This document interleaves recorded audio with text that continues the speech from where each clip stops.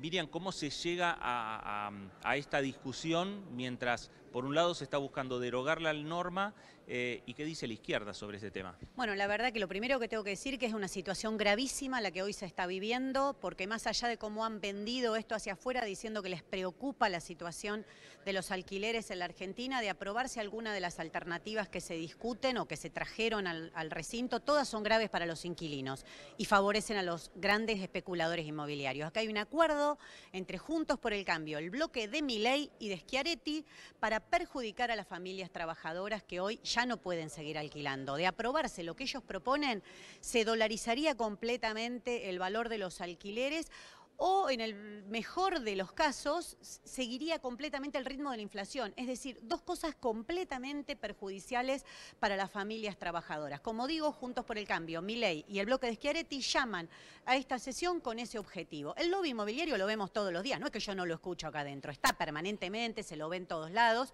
pero bueno, algunos sabemos negarnos y ponernos del lado de las familias y otros han hecho eso. Entonces la situación es crítica, ¿por qué?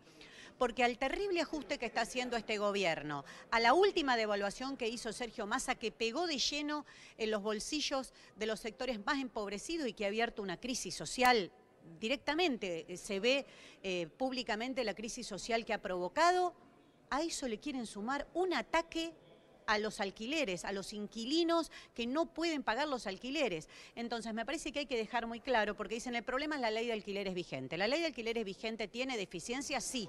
Por ejemplo, no regula el valor inicial de los alquileres, lo cual es muy grave.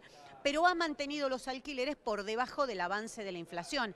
Y lo que aquí se quiere modificar es eso precisamente, es que el valor de los alquileres siga el valor del dólar, que se puedan dolarizar completamente o que sigan directamente el valor de este pico inflacionario que estamos viviendo. A nosotros nos parece inadmisible, como te digo, no es que el lobby no lo escuchamos, el lobby lo escuchamos, pero sabemos plantarnos y le decimos claramente a los inquilinos e inquilinas que lo que les proponen es sumamente perjudicial.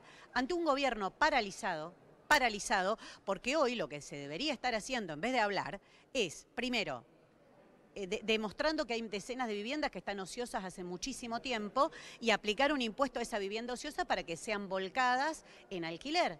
Hoy no se hace nada de eso, se deja correr con estos proyectos delirantes a la derecha del país que, como digo, se suman al ajuste en curso. Miriam, gracias, es muy amable. Muchas gracias a ustedes. Muy bien.